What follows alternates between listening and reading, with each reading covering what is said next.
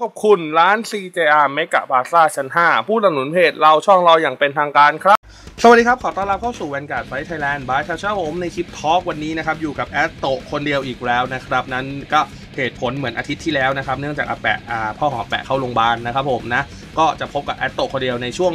นี้จะพบกับแอดโตอัดคลิป talk คนเดียวนะครับค่อนข้างจะบ่อยพอสมควรนะครับ เนื่องจากต้องรออาแปะ1-2 เดือนเลยกว่าอาแปะจะเข้าที่แล้วมาอัดเป็นคลิป talk กับเราได้นะครับนะ อ่าช่วงนี้นะครับต้องบอกก่อนว่ามีจริง ๆ มีหลาย ๆ เรื่องที่อยากจะทำนะครับ แต่ด้วยเหตุผลนะครับเหตุผลก็เหตุผลเรื่องราวของอาแปะก็ทำให้ไม่สามารถทำคลิปท็อแบบท็อสองคนได้เลย พี่เลยหยิบยกเรื่องหนึ่งที่น้องๆขอเข้ามาเยอะมากนะครับพวกเป็น trick trick เทคนิคการเล่นหรืออะไรต่างๆ นานานะครับนะมาสอนในคลิปทอล์กเลยแล้วกันนะครับนะพวกทิกเทคนิคการเล่นเนี่ยนะครับก็จะรวมมาจากประสบการณ์ที่ พี่เป็นคนเล่นเองนะครับนะพี่เป็นคนเล่นหรือเห็นจากเขาเล่นแต่ส่วนใหญ่ก็จะเล่นเองนั่นแหละนะครับนะมาแล้วก็ถ่ายทอดให้น้องๆดูแล้วกันนะครับนะก็จะเป็นวันละเรื่องนะครับสัปดาห์ละเรื่องไปเรื่อยๆแล้วกันนะครับอ๋อก็ประมาณนี้นะครับนะก็ยังไงก็อย่าลืมติดตามชมนะครับแล้วก็ส่วนคลิป spoil นะครับแอดโตจะทำคนเดียวและจะพยายามทำให้ดีที่สุดนะครับนะโอเค ในวันนี้จะเป็นเรื่องแรกของเราเลยแล้วกันนะครับนะเรื่องแรกของเราในวันนี้นะผมจะเป็นเรื่องที่พี่ จะพูดถึงเรื่องของเส้นพลังนะครับนะเส้นพลังใน Vanguard นะครับ เนื่องจากว่า Vanguard เนี่ยมีพลังที่หลาย ๆ ตัวต่างค่ากันหรือเท่ากันหรือว่าสูงกว่าต่ำกว่าค่อนข้างเยอะนะครับนะแอดโตเองก็เลยจะเอามาให้น้อง ๆ นะครับ ลองศึกษากันดูนะครับ น้อง ๆ หลายคนบอกมี trick อะไรไหม เส้นพลังคือ trick หนึ่งที่ทำให้ถ้าเรารู้เนี่ยจะทำให้เราเล่นดีขึ้น และก็ค่อนข้างจะเล่นได้เข้าใจในระบบมากขึ้นนะครับ โอเค ทีนี้ แอดโตจะขออนุญาตให้น้องๆดูนะครับนะดูกับการ์ดนะครับอันนี้แอดโตจะหยิบการ์ดมาชุดหนึ่งนะครับนะอะโอเค อันแรกจะเป็นเกรดศูนย์ก่อนนะครับนะโอเค เกรดศูนย์จะมีพลังอย่างที่น้องๆเห็นก็คือ 4,000 5,000 6,000นะโดยประมาณที่เป็นพวกเฟิร์สแวนการ์ดตัวเริ่มเนี่ยหรือว่าจะไม่ใช่ก็ตามเนี่ยจะมีพลังโดยประมาณจะเป็นอย่างเงี้ยนะครับนะซึ่งมันจะมีพลังต่ำที่สุดคือ 3,000นะเท่าที่แอตโตเคยเห็นเป็นของนารุคามิตัวหนึ่งนะครับแต่ว่าก็ อ่าอันนั้นจะไม่พูดถึงเพราะมันเป็นพวกตัวพิเศษที่พลังค่อนข้างต่ำอ่านี้จำไว้ก่อนนะนนี้เป็น 4,000 5,000 6,000นะครับอันนี้น้องๆลองเอาเด็กของตัวเองเนี่ยมากางดูไปพร้อม ๆกันได้นะครับนะสำหรับ trigger นะผมนะ trigger มี text จะยืนที่ 4,000 แล้ว trigger ไม่มี text เนี่ยจะยืนที่ 5,000 นะครับนั้นตามนี้โอเค ต่อมานะครับก็จะเป็นเกรดหนึ่งเกรดหนึ่งจะเริ่มพลังที่ 4,000 5,000 6,000 7,000 แล้วก็ 8,000 นะครับนะ ก็คือพลังต่ำสุดเนี่ยจะอยู่ที่ประมาณ 4,000 ถึงไล่ไปที่บวกทีละพันถึง 8,000 ก็ตามสภาพ skill นะครับ ถ้า skill ดีมากๆ พลังก็จะถูกลดต่ำลงมาเรื่อยๆ อย่างเช่นเจ้า Phoenix เนี่ยมันเหลือ 5,000 เพราะว่ามันสามารถ soul blast สองและจั่วได้การเติมมือเนี่ยคือเป็น skill ที่ดีแล้วนะ นะครับหรือว่าเจ้าตัวนี้นะครับสามารถทำให้ rear guard บวกพลังค่อนข้างหนักได้นะครับซึ่งไอตัวนี้มันก็บุเป็นตัว boost หมื่นมาพอกันนั่นแหละแต่อันนี้ boost ได้แค่ van อันนี้ boost ให้ rear ได้ ที่ติดชื่อนั้นๆ ก็เลยทำให้พลังมันต่ำกว่าแค่นั้นเองแล้วก็ 7,000 จะส่วนใหญ่จะเป็น standard อยู่ที่ 7,000 กับ 6,000 เนี่ยค่อนข้างจะเยอะโอเค มาที่ดวลที่เกรด2นิดนึงนะครับนะนี่จะเสียอาจจะเสียเวลาการดูตรงนี้นิดนึง ก็จะมีตัวที่เป็นพลัง 7,000 8,000 9,000 10,000นะครับนะ โอเค โดยจะมี 1 1 0 0 0 ด้วยแต่อันนี้พี่ไม่ได้หยิบมาให้ดูนะครับนะเจ็ดพันแปดพันเก้าพันหนึ่งหมื่นนะครับผมจะเห็นได้ว่าเจ็ดพันเนี่ยมันตัวนี้จะตีความท้านตีเกนตีฮิตจั่วนะครับแล้วก็จะมีไล่ความความสามารถระดับขึ้นมา แล้วก็ไม่มีเทคอะไรเลยที่ 1 0,000 แล้วก็พวก 1 1 0 0 0เนี่ยจะเป็นเทคแบบประมาณพันธนาการต้องมีเงื่อนไขในการปลดล็อกหรือว่าอะไรต่างๆ นานาเพื่อให้รู้สึกว่าใช้ยากนะครับสำหรับเกรด3ก็จะมีอ่าหนึ่งหมื่นและหนึ่งหมื่นหนึ่งและสุดท้ายจะเป็นตัวล่างที่เป็นพวก cross ride เป็น 1 3 0 0 0นะครับโดยประมาณจะประมาณนี้นะครับโอเค ทีนี้เรื่องเส้นพลังนะครับจะที่แอดโตพูดจะคืออะไรหรือจะดูยังไงนะครับ เอาง่ายๆเลยนะครับนะสมมุติแวนการ์ดเรายืนเป็นเกรดสามอันนี้พูดกันง่ายๆเลยนะครับแวนการ์ดเรายืนเป็นเกรดสามปุ๊บอันนี้ถอยมาหน่อยขอให้ตรงฝั่งอีกครึ่งนึงเป็นสนามของฝั่งตรงข้ามนะครับนะอันนี้เป็นแวนการ์ดเราแต่อาจจะอยู่ต่ำหน่อยนะครับ ถ้าเรายืนอ่า หนึ่งหมื่นหนึ่งหมื่นหนึ่งนะครับ เราจะเป็นอย่างนี้ดีกว่าปุ๊บยืนหนึ่งมือหนึ่งปุ๊บอ่าฝั่งตรงข้ามนี่แวนการ์ดฝั่งตรงข้าม เรายืนหนึ่งมือหนึ่งปุ๊บนะครับ เราจะทำให้การตีหนึ่งมือหนึ่งเข้า และมีผลมากที่สุดในการโจมตีนั้น สมมุติว่าทุกการทุกใบไม่มีเทคเลยนะ ดูแต่แค่ค่าพลังพอ จะทำยังไงนะครับ ถ้าเรามีตัว 9,000 นะครับ อันนี้เป็นเทคนิคเล็กๆ น้อยๆ นะครับ อย่างที่บอกไปปุ๊บ เราอาจจะต่อบูทด้วย 7,000 นะครับนะให้น้องๆเห็นค่าพลังนิดนึงถ้าเราต่อบูทด้วย 7,000 เนี่ยนะครับเลขพลังมันจะขึ้นไปที่ 16,000นะครับซึ่ง 16,000 เราตีไปนะครับเขา11,000ชิลแวนการ์ดจะมีแค่ 2 เลขคือ 5,000 กับ 10,000 ถ้าเราตี 16,000 แล้วเขายืน 11,000 เท่ากับว่าเขาปาชิล 5,000 ยังเข้าเขาต้องยอมปาชิล 10,000 เพื่อกาดตัวนี้นะครับคือคือเส้นพลังเนี่ย มันจะเป็นเลขถ้าเป็นฝั่งตรงข้ามเป็นเกรดสามแล้วมันจะเป็นเลขหนึ่งหมื่นหนึ่งหนึ่งหมื่นหกสองหมื่นหนึ่งสองหมื่นหกอะไรอย่างเงี้ยนะครับ คือบวกไปจากหนึ่งหมื่นหนึ่งบวกไปทีละห้าพันนะครับนะอย่างเช่นแต่ถ้าเราเป็นการบูทที่ไม่ใช่ตัวนี้ล่ะ เป็นการบูทอย่างนี้ ตัวนี้บูทกับตัวนี้เป็นหนึ่งหมื่นห้าพันนะครับ ซึ่งตีไปหนึ่งหมื่นห้าพันตีใส่แวนเขาแวนเขายืนหมื่นหนึ่งอยู่ไหมถามว่าอยู่ไหมอยู่นะครับห้าพันเนี่ยปาชิวintercept ก็ เรียบร้อย ตีไม่เข้านะครับนะแต่ถ้าในแง่กับการถ้าเป็นพวกตัวยืนหมื่นเดียวอย่างเงี้ยก็จะเข้าอันนี้เราพูดในกรณีตัวเป็นยืนหมื่นหนึ่งแล้วกันน่าจะค่อนข้างตรงกับ concept ยุคมันมากกว่านะครับนะโอเค และก็ถ้าอย่างนั้นในการตีให้ข้างนี้มีประสิทธิภาพสูงกว่าที่การตีและขอ shield เขาแค่ 5,000 จะเป็นยังไง ก็คืออาจจะมีตัวที่ยืนหมื่นต่อกับ 6,000 มันจะทำให้ขอ 16,000 เขาต้องการหมื่นเช่นกันนะครับหรือไม่งั้นเราแวนตีแล้วเราโยนทีให้ก็กลายเป็น 21,000เขาต้องให้ข้างนี้ 15,000คือมันค่อนข้างเป็นการกดดันในเรื่องของการป้องกันนะครับ คือน้องๆมือใหม่หลายๆคนพี่เข้าใจนะพี่ก็เป็นนะครับ บางคนคือเอาต่อบูธได้ก็ต่อต่อไปนะครับนะมันแค่หมื่นหนึ่งเราเนี่ยหมื่นอ่าเราเป็นตัวเก่าก็ได้อะเป็นเนี่ยต่อบูธเนี่ยตอนแรกเก้าพันตีไม่เข้าเนี่ยต่อยห้าพันเนี่ยตีไป เขากาดห้าพันอยู่แต่ถ้าเป็นไปได้จริง ๆ ถ้าเรามีตัวเลือกให้เป็นหกพันกับเจ็ดพันเนี่ย เราควรจะยืนเป็นเจ็ดพันอย่างนี้มากกว่า มันจะทำให้เขาตีเข้ามากกว่า หรือถ้าเป็นหลังแวนอย่างเงี้ยนะครับนะแวนยืนหมื่นเดียวเราต่อหมื่นหกเนี่ยก็ขออ่าหนึ่งหมื่นหนึ่งไดนะครับนะถ้าอะในกรณีนี้เรียนะ ถ้ากรณีแวนมั่ง ถ้าเรายืนอย่างเงี้ยมันเป็นหมื่นหกใช่ไหมแวนเขาปาชิวหมื่นมาขอหนึ่งไดหมื่นห้าสองไดอันนี้ก็คือเป็นการกดเขาแต่ถ้าเรา ยืนหมื่นเดียวและเกิดทะลึ่งนะครับ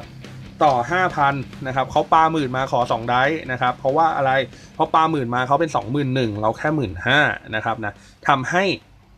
มันไม่คาบเส้น เรียกว่ามันไม่คาบเส้นนะครับ ส่วนใหญ่เขาจะเรียกว่ามันไม่คาบเส้นกันนะครับนะทีนี้ก็เส้นพลังเนี่ยนะครับจะมีผลต่อลูกเกมค่อนข้างเยอะนะครับนะอันนี้คือน้องๆน่าจะเข้าใจเรื่องเส้นพลังกันแล้วแหละนะครับ ทีนี้นะครับพี่ก็จะขอยก ตัวอย่างนะครับนะยกตัวอย่างนะครับนะอย่างใน 1 เด็กนะครับผมนะน้องๆหลายๆคนก็ต้องมีเด็กอยู่แล้วนะครับนะโอเคน้องๆลองเอามาเปิดตามพี่กันได้เลยนะครับนะหนึ่งเด็กนะครับผมนะตัวเริ่มเนี่ยนะครับมันจะมีตัวเริ่มที่มี 5,000 กับมี 4,000 นะครับ อันนี้คืออันนี้แล้วแต่ความชอบเรื่องตัวเริ่มเลยเพราะว่าตัวเริ่มเนี่ยมันจะบังคับกันไม่ได้นะครับนะและทีนี้ สิ่งที่เราต้องดูนะครับในถ้าเรารู้เรื่องเส้นพลังแล้วในตัวเด็กเราควรจะมีอะไรบ้างนะครับ ผมคือก็จะต้องดูว่าในตัวเด็กเราเนี่ยนะครับ ตัวหลักเราจะเล่นเป็นใครและตัวหลักนั้นนะพลังมันจะเท่าไหร่นะครับ อย่างเช่นในเด็กเด็กที่พี่ให้ดูเนี่ยจะให้ดูมันเป็นดาร์กอิเล็ก u ล่านะครับซึ่งตัวหลักมันเป็นพลัง1 1 0 0 0นะครับนะอาจจะถอดสะท้อนไฟนิดนึงขออภัยด้วย ตัวหลักเนี่ยพลังมัน1 1 0 0 0นะครับผมนะตัวหลักทีนี้พลัง1 1 0 0 0ปุ๊บ เราก็ต้องไปดูพวกเกรด2อีกนะครับ ตัวหลักเนี่ยเรารู้แล้วจะเล่นใคร ดูเกรด2ของที่ไว้ซับกับตัวหลักมันมีพลังเท่าไหร่บ้างอะสมมุติเด็กนี้พี่ก็จะใส่เป็นตัว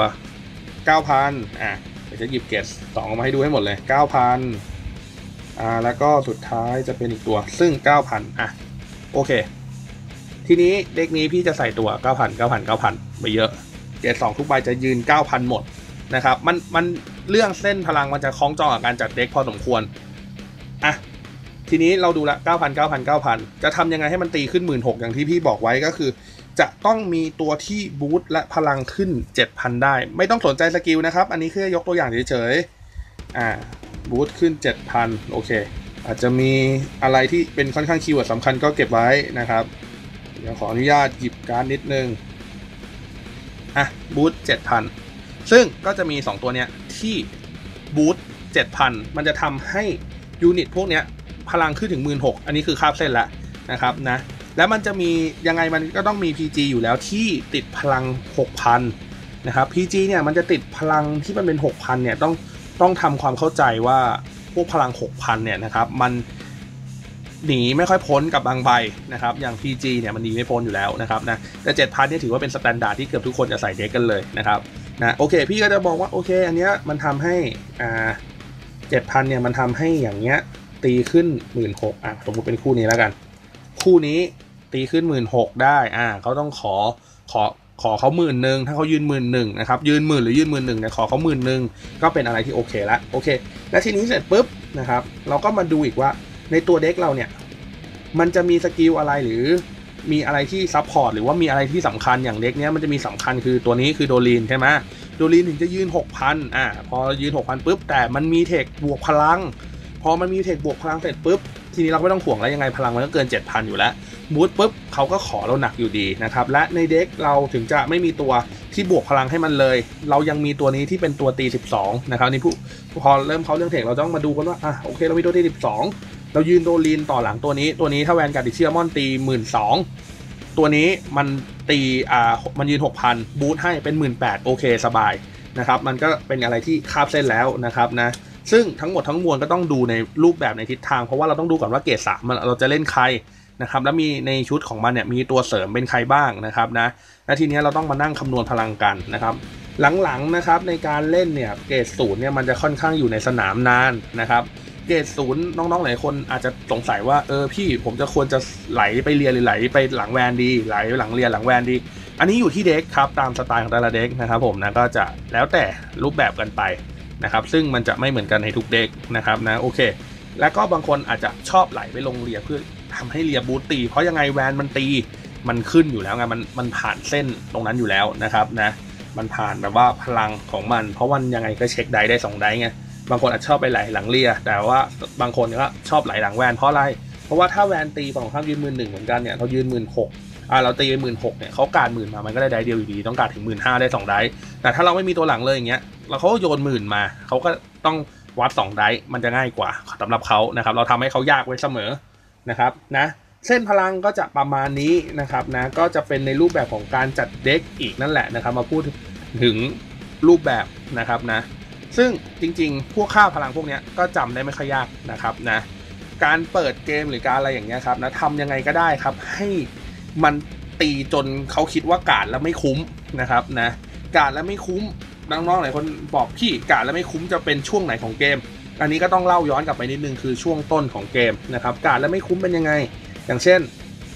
เขายืนหกพันสมมติที่เป็นแวนเขาอะยืนหกพันเรายืนเจ็ดพัน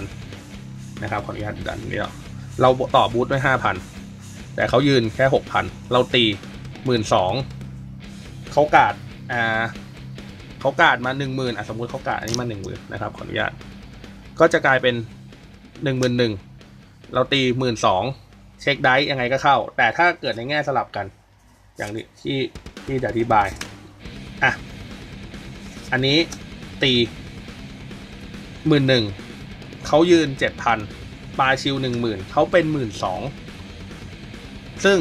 อ่าขออภัยเขาเป็นหมื่นเจ็ดซึ่งมันมิด อันเนี้ยโอเคเขาจะกาดนะครับนะ ก็เป็นการที่ทำให้รู้สึกว่าเขากาดแล้วมันไม่ค่อยคุ้มนะครับนะไม่คุ้มกับการกาดเนี่ยจะเป็นการที่กดดันของฝั่งตรงข้ามได้ดีเหมือนกันนะครับน้องๆจะฟังแล้วจะงงงนะครับนะต้องขออภัยนิดนึงนะครับถ้าพี่ใช้คำแล้วงงนะครับนะซึ่งมันก็เป็นประสบการณ์ในการเล่นที่ผ่านมานะครับ บางแทนเนี่ยมันก็จะมีสกิลในการปั๊มพลังตัวเองขึ้นไปถึงจุดคาบเส้นไปเลย บางแทนมันก็ไม่มีหรอกในการปั๊มพลังถึงจุดคาบเส้นนะครับนะก็เป็นสิ่งหนึ่งที่น่าจำไว้นะครับเป็นเทคนิคเล็ก ๆ น้อยๆแล้วกัน ถ้าน้องเข้าใจในเรื่องพลังเนี่ยจะค่อนข้างง่ายนะครับอย่าและก็อีกอย่างหนึ่งน้องๆอาจจะบอกพี่ทำไมพี่ไม่พูดถึงคอร์สไลท์ล่ะคอร์สไลท์ก็ไม่ยากครับมันยืนหมื่นสามน้องก็บวกห้าพันให้หมื่นสามนั่นคือเส้นพลังของมันคือหมื่นแปดสองหมื่นสามนะครับง่ายๆ นะครับนะสำหรับเส้นพลังบางคนน้องๆบางคนอาจจะแบบมือใหม่ไงแบบไม่ทันได้คิดนะครับนะก็ต้องแบบ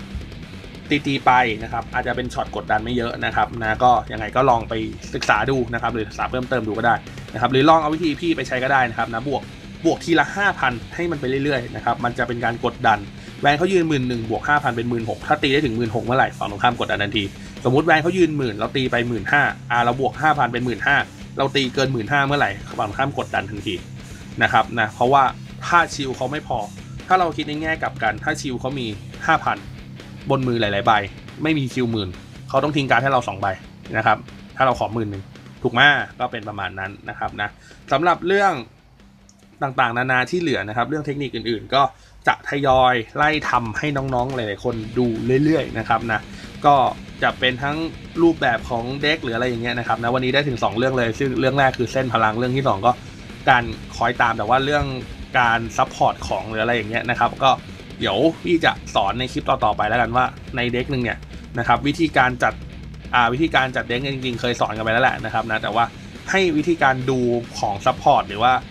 ในชุดที่มันออกมาในอนาคตเนี่ย มันจะควรจะจัดเป็น deck ยังไงนะครับนะ deck นี้ควรจะเอ่อเอ่อขออภัย ตัวไหนควรจะเอามาใส่ตัวไหน ไม่ควรจะเอามาใส่ หรือเราต้องวางยังไงให้รู้สึกว่า deck อะมันเป็น concept หรือว่ามันเป็นยังไง และเราต้องเข้าใจในตัว deck ยังไงนะครับ ว่ามันจะควรจะเป็นยังไงก็รอดูแล้วกันนะครับนะอันก็ต้องบอกก่อนคลิปนี้เป็นคลิปสำหรับมือใหม่จริง ๆนะครับนะสำหรับน้องๆที่เป็นมือใหม่ที่เพิ่งเริ่มเล่นหรืออะไรก็ตาม หรือเล่นเฉยๆหรืออะไรก็ตามนะครับนะก็ถ้าอยากพัฒนาฝีมือก็